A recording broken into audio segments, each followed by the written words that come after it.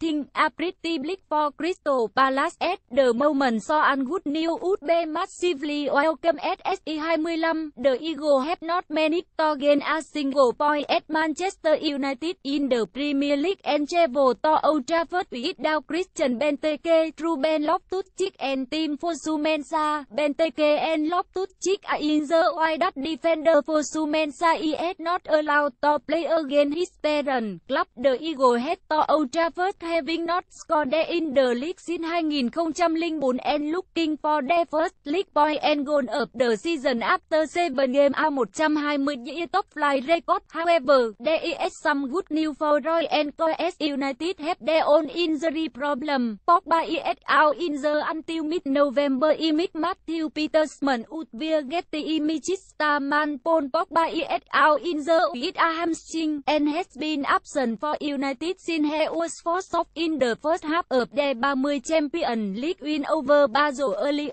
this month. He could be out until after the next international break in November. Anthony Marshall, Ty and Marouane Fellaini ankle are also down while Michael Carrick and Phil Jones are confirmed missing through injury making that five first team star absent. Carrick has no chance. Mourinho told BT Sport eating John he have many down and Fellaini he have I hope, just a hope, as I apply for the Eagle, let's hope so.